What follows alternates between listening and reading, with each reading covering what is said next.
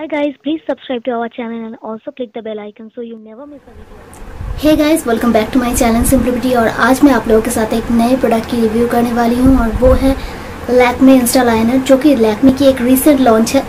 सो आज हम video start करेंगे। वीडियो में जाने से पहले मेक श्योर sure इस वीडियो को एंड तक देखना और वीडियो पसंद आए तो like share and subscribe to my channel so चलिए स्टार्ट करते हैं आज की video let's get started first हम बात करेंगे इसकी पैकेजिंग को लेके। ये एक नॉर्मल जैसे हमारी इंस्टा लाइनर की पैकेजिंग है वैसी ही है। आपने ब्लैक वाली तो इंस्टा लाइनर देखी है, वैसे ही सेम पैकेजिंग रखा है, इन लोगों ने बिल्कुल भी चेंज नहीं की है। और ये तीन कलर में, तीनों डिफरेंट कलर में ये लॉन्च हुए हैं, एक ब्लू एक कोबाल्ट ब्लू जो मेरे पास है, एक गोल्डन एंड एक ऑलिव ग्रीन वो दो कलर मैंने परचेज़ नहीं की, मैंने सिर्फ़ यही कलर परचेज़ की क्योंकि ये कलर मुझे बहुत ही पसंद आई। अब हम बात करेंगे प्रोडक्ट को लेके क्योंकि पैकेजिंग काफ़ी ज़्यादा स्टडी है और बहुत ही अच्छी है और आपको इसमें मिल जाती है नाइन एम की प्रोडक्ट जो कि आपको लैक्मी की जो इंस्टा लाइनर की इस वर्षन की जो ब्लैक में मिलती थी वही आपको उतनी क्वांटिटी ही मिलती है। तो क्वांटिटी वाइज ये बिल्कुल ठीक है। अब हम इसकी क्वालिटी के बारे में बात करेंगे। सो so, फ़र्स्ट मैं कहूँगी आप देख रहे हैं मैंने इस वक्त मेरे आइज़ पे यही लगाया है।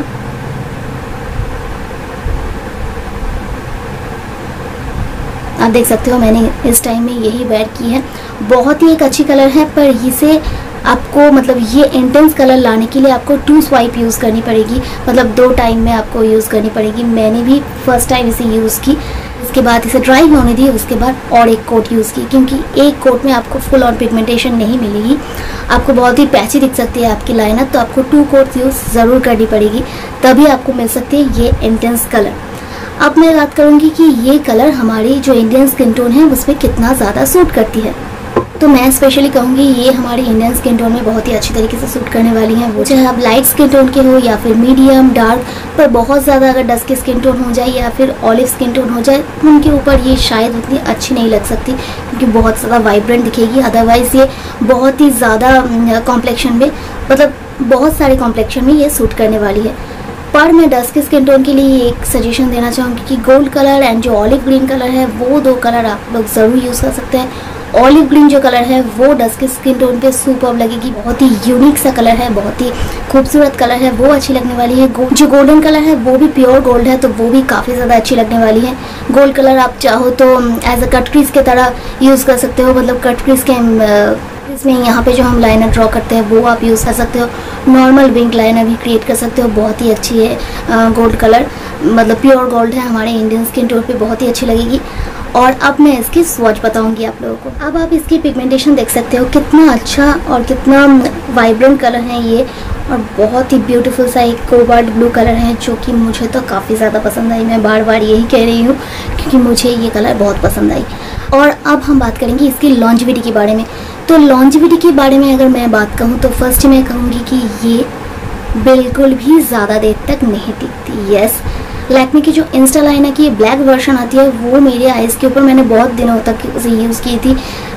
फाइव ईयर्स तक तो इजीली यूज़ की थी। लैक्मे इंस्टा लाइनर की जो ब्लैक वर्जन है वो मेरी आईलेट में बहुत ही आ, समय तक टिकती थी और बहुत ही अच्छी तरीके से टिकती थी पर इसके साथ ऐसी बात बिल्कुल भी नहीं होती है।